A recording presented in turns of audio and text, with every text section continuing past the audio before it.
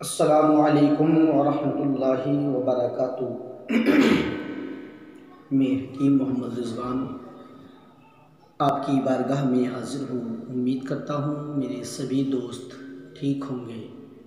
दोस्तों, मैं अपने चैनल पे आपका इस्तकबाल करता हूँ और मैं आपके लिए तरह तरह के नुस्खे जात लाता हूँ। आज एक बहुत पावरफुल माजून लेके आया हूँ मैं उन लोगों के लिए, जिनको भूख नहीं लगती।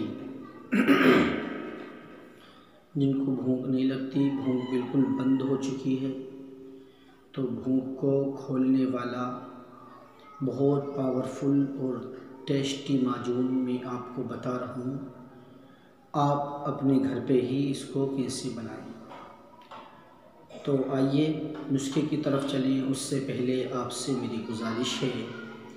अगर प्लीज़ आप मेरे चैनल पे नए हैं तो मेरे चैनल को ज़रूर ज़रूर सब्सक्राइब करें लाइक और शेयर करें। वेल आइकन को ज़रूर दबाएँ, ताकि हर आने वाली वीडियो की नोटिफिकेशन आपको मिल जाए।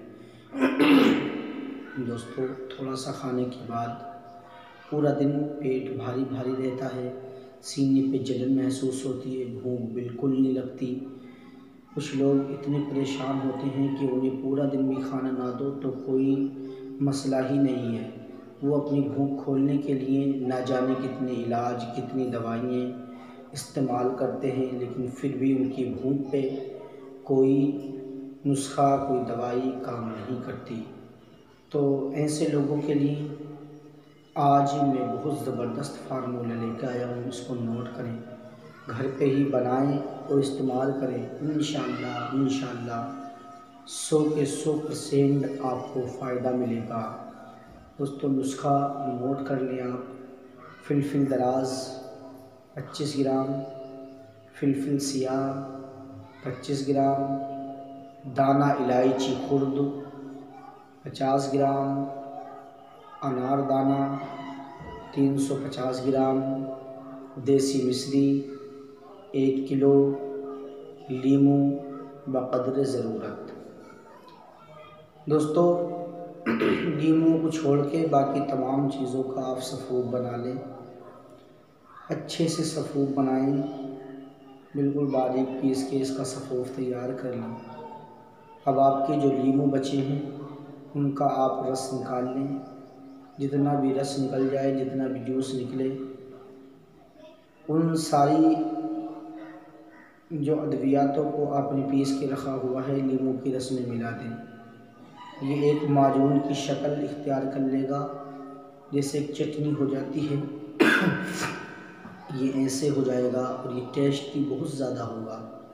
अब आपको इस्तेमाल कैसे करना है? ये एक चम्मच सुबह खाली पेट, रोज़ाना खा लिया करें इन इन चंद दिन में आपका पेट बिल्कुल ठीक होगा। भूख इतनी लगने लगेगी, इतनी लगने लगेगी कि आप हैरान हो जाओगे। दोस्तों भूख को खोलने वाला मैंने बहुत पावरफुल नुस्खा आपको बता दिया है। इसके साथ साथ अगर किसी की और ज़्यादा भूख बंद है तो अदरक के पानी के वो गरारे करें और दो चार रोज़ ये अमल करते रहें। ठीक है? इस दौरान तली भुनी चीज़ों से परहेज़ करें और मार्केट वाला खाना बाज़ारू खाना बिल्कुल ना खाएँ। जब शुरू शुरू में तो बिल्कुल परहेज़ रखना है आपको। आ, कोई भी तली हुई चीज़ पकौड़ी पराठा समोसा इन चीज़ों का बिल्कुल इस्तेमाल ना करें। सादा खाना खाएँ इन आपको ये बहुत फ़ायदा पहुँचाएगा। तो दोस्तों ये मेरा नुस्खा ख़ास है और इसको अपने दोस्तों में ज़रूर पहुँचाएँ।